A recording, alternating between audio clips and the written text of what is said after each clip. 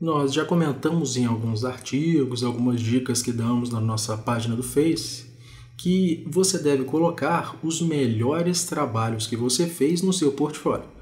Você deve chamar a atenção, deve apresentar para seus potenciais clientes aqueles melhores trabalhos que você já fez. E se você tiver em dúvida de quais seriam esses melhores trabalhos, porque às vezes, mesmo você participando, fazendo um projeto, dentre todos aqueles que você já fez, né, você pode ficar em dúvida qual é o melhor.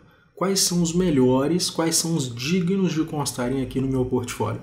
Então agora vamos falar, vamos dar algumas diquinhas sobre isso. Primeiro, aqueles projetos que mais chamam a atenção.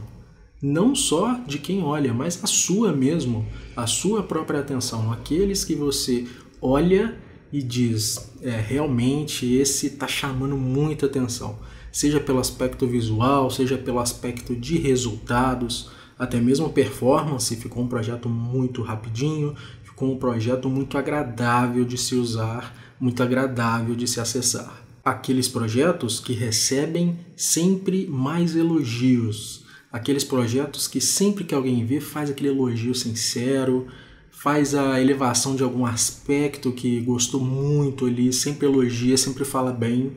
Não somente que você mostra, mas às vezes que você posta em alguma rede social, ela consta em um portfólio online, sempre alguém entra em contato ou faz um comentário elogiando. Esse realmente é um bom candidato. Aqueles projetos em que você ficou mais satisfeito de ter participado. Aí, não necessariamente são os melhores de aspecto técnico, mas por algum motivo você ficou muito satisfeito de ter participado daquilo, então com certeza ele figurar ali no hall de projetos do seu portfólio vai transparecer muito sobre você, porque se é uma preferência sua, isso vai transparecer para quem está olhando e é um bom item para se constar em um portfólio. Também projetos que você se orgulha mais de ter participado seja pelo aspecto técnico, pelo aspecto de contatos, pelo aspecto de relacionamento, enfim, aqueles projetos que você se orgulha de ter participado, que você se orgulha de ter feito parte daquela equipe que depois de um trabalho duro fez um lançamento e agora essa peça online está lá para ser acessada e sempre que você olha, você fica com aquele orgulho, nossa, eu participei daquilo.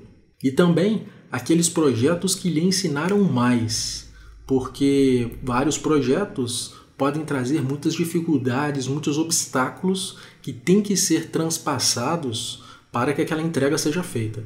Então, muitos destes você vai aprender bastante sobre a sua própria área de atuação. E esses são projetos excelentes para figurarem no seu portfólio, porque essas etapas mais difíceis essas dificuldades que você teve que transpassar, você exiba no seu portfólio e conte ali a história do que você teve que fazer, o que você teve que aprender, quais foram as dificuldades. Pode ter certeza, o cliente ou o potencial cliente vai levar em consideração quando escutar uma boa história de superação e que no final tudo aquilo deu certo.